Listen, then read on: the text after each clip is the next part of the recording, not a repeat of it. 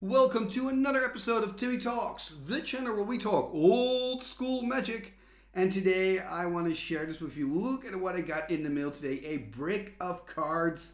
And it's got something special here. It says Branching Paths. And Branching Paths is an old school Magic the Gathering fan made set. It's made by the Montreal Tundra Wolves from Canada.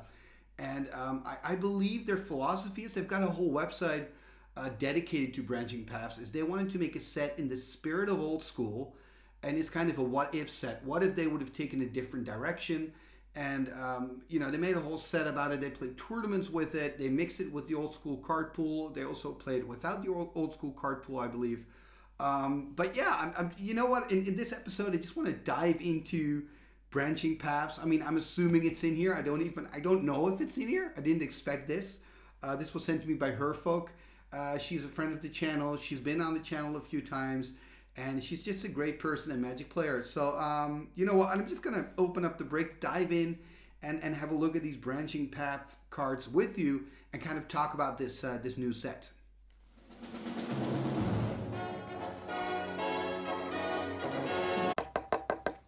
Okay, so we're gonna crack it open. Let's have a look. I mean, one of the things I love about old school is that all these initiatives, you know, all these fan made things that really keep, you know, old school magic going, I feel. Like all over the world, people are doing different stuff. Like we had the Staples tournament not too long ago uh, that was designed by the guys uh, in Hamburg, Germany. Um, you know, you've got, there's just so many things going on. You've got X Points, of course, that has been around for a while. Oh, look at this. Yeah, baby. wow.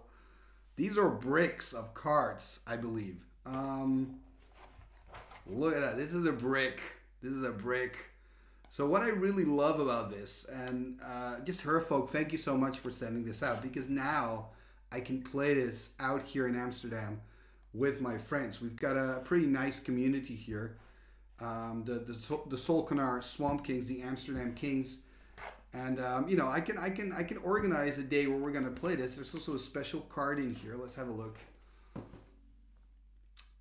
So this one says Rampage's Lair.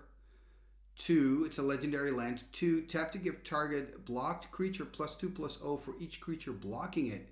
Can only be done for the duration of the current attack exchange. Wow. So this is the card. Obviously, these are just all proxies, right? They're not official Magic the Gathering cards, but just really cool. And I'll put a link to the uh, the website there. So exactly, not for sale. This is not a commercial project. This is a fun project. This is made out of a love for the game. I mean, they've got lore attached to this set as well. It's like a really big project. Really, really awesome. So I'm just gonna gonna put this here. I think I'm just gonna open one of the bricks kind of go through the cards with you guys. I'm going to leave these closed. I mean, this is so awesome. This is truly, this is truly sweet. Um, okay, I got to be a little bit careful. Don't want to damage the cards, obviously. Doesn't happen often as an old school player that you get to see new cards. So it's kind of exciting.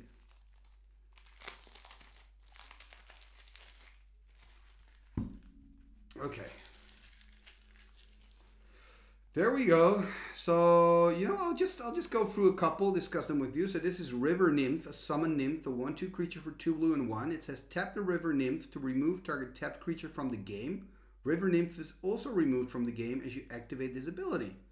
That's pretty sweet. So you can just take out a creature, remove it from the game, so exiled, I guess. Ooh, Lawless Mercenary. Look at that art.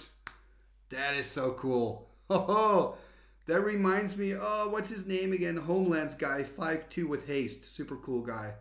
Let's see what he does. At 2 1 for only one red, so kind of a Savannah Lion. You must pay one red during your upkeep, or Lawless Mercenary deals one damage to you. Ooh.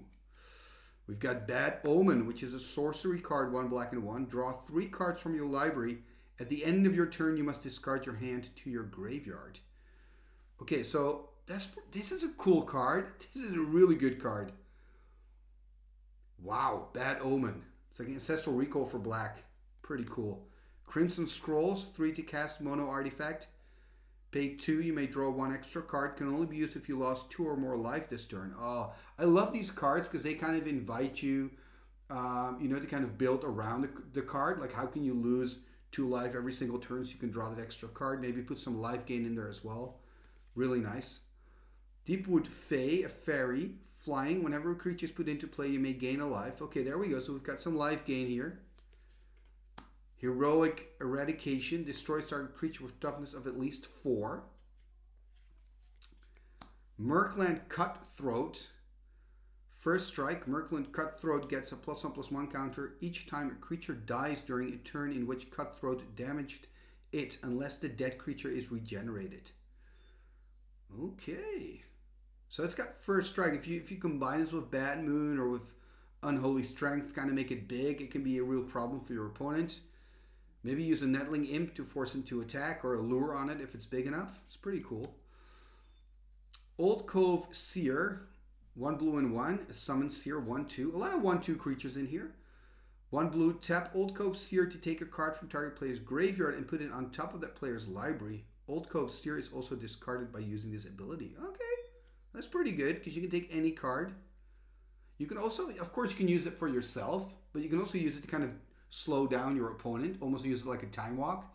Like if he if he needs lands, for example, you're just gonna give him a big spell from his graveyard, put it on top. You know that he's not gonna be able to cast it.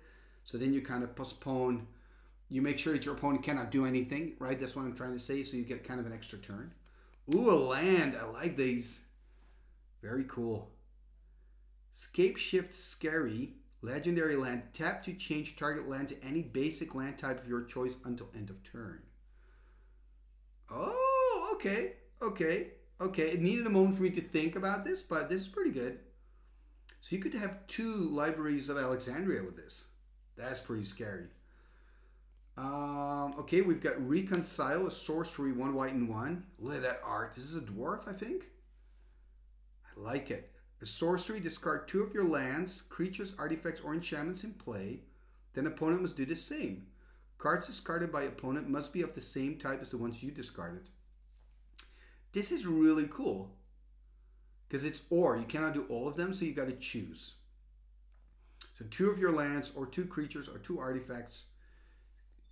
So you can kind of make a decision there. So you can basically change if, you, if your creatures are worse than your opponent, you can use this. If your lands are worse, if your opponent's got like a really good land in play, you can force them maybe to destroy it with this. Pretty cool. Hey, a ferret! Yay, a ferret! Remember, Homelands, I think, is the only set with a ferret in it, so it's good to see a ferret. This is a Restless Ferret for one green. Cannot be used to block any creature of power more than one. I think in green that doesn't matter. This is really good in green. Having a 2-1 creature, it's really good. Warden of Silence. Tap the Warden to destroy target enchantment. Warden of Silence is also destroyed this way. So they have a lot of cards where you kind of use them and then the creature also goes away. Hey, a clerk. We've got another clerk. Of course, we all know the uh, the preacher in uh, white. Two uh, red and one for a 1 1. Tap to gain control of a creature with power no greater than 2. You can tap target creature this turn. If it was already tapped, you can also untap it. Return to former controller at the end of turn. This is so interesting. So you can take it, you can untap it. So if there's like a royal, you can steal it, untap it, and use it on a creature of the opponent. That's pretty strong. Quagmire Howler. And the art is pretty sweet as well. It doesn't give a credit here to the artist, but I'm sure it's all fan made, so I guess they made the art themselves. I just need to read a little bit more about this project. So they have their own website. So I'll put a website, Uh, the link to that website in the description below if you want to know more about the project. And I think there are also contact details where you can kind of you know, get in touch with them. I think I'm now just going to go, just quickly go through the cards a little bit, kind of show you the art. I have to say, I'm really liking the art. I'm liking the fact that a lot of these creatures, oh, this is cool, a flying 2-7 for 6. A summon oddity. Look at that art. That's funny. What I like is that a lot of these cards, these creature cards, have like an extra effect when they come into play, making it a little bit more balanced, right? Because the problem in old school, it's not really a problem, but a thing about old school, I should say, is that the spells are really strong and the creatures are not as strong. I think Arabian Nights is probably the only set where they kind of had that balance right between spells and, and creatures. Um, so it's really nice to see that there are a lot of like cards here that have an effect. A lot of creature cards, I mean. So here we've got uh, Primal Force Druid, one green into a 2-2. Does one damage to any opponent casting an instant. I love This is good. This is actually what green needs. A little bit of that direct damage in there. Shriek, Shriekling Shrine. Whenever a creature artifact is placed into an opponent's graveyard from play, the shrine deals one damage to its controller. Wow. That is a good card. If you've got to combine this with Shatterstorm, oh, that's a problem for your opponent. Wolfkin. I'm sure you guys put a lot of wolves in there, right? I mean, look at the back of these cards. Really cool. What a cool project. Look at this art. Seven teaching adepts, one blue summon shaman. Each player draws an extra card each turn during his or her draw phase. Wait a minute, this is a howling mine in a creature form. That is so cool. Wow, if you can find a way to maybe flash this out at the end step of your opponent so you get like the bonus from it. Wow, what a cool card. Uh, a river serpent, a pilgrim stone, a meat catapult, a meat catapult. so funny.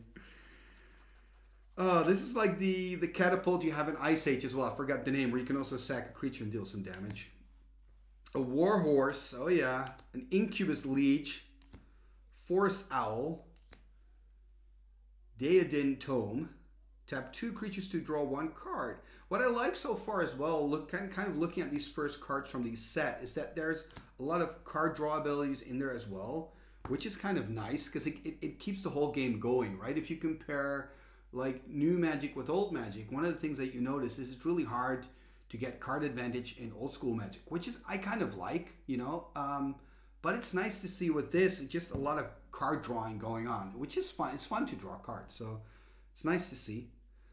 Uh, destroy target creature does not affect artifact creatures. Okay, four manas, but you, you can also destroy black creature with this. That's pretty good.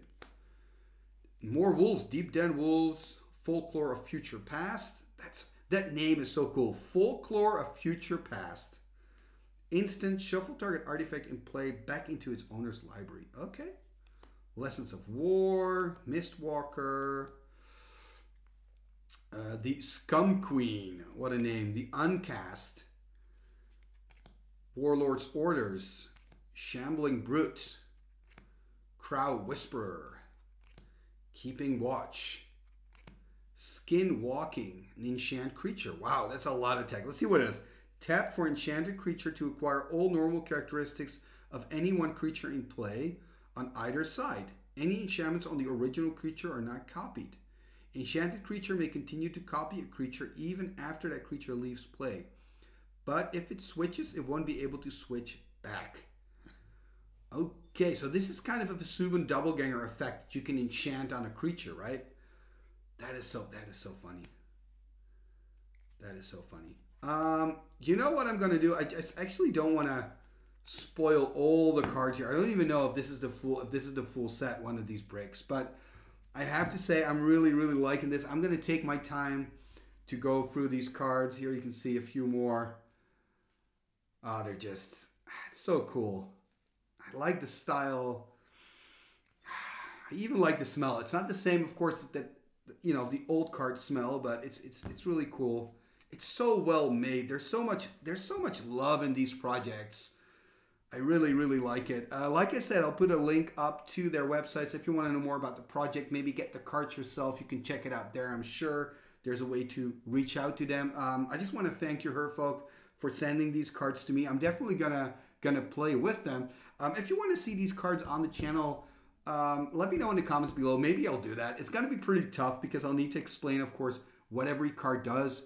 Um, but I guess I, I, I, could maybe do it. Let me know in the comments below if you'd like me to make uh, to make a match. That would be quite sweet. Um, anyway, uh, thank you so much for watching another episode right here on Timmy Talks, the channel where we talk old school magic. And um, if you enjoy the content that I make, please leave a like, share this on your socials uh, and leave a comment. Of course, all these things are free and really help the channel move forward. And, um, you know, you can also support me, of course, by becoming a patron of the show. Check out youtube.com slash Timmy Talks. And uh, I think I'm just now going to continue browsing through these beautiful cards and uh, just going to build a deck with it. I mean, this this looks like amazing fun. Anyway, have a great uh, have a great afternoon. See you guys later. This is pretty sweet. Melting Point. What shall we do with the drunken sailor? What shall we do with the drunken sailor? What shall we do with the drunken sailor?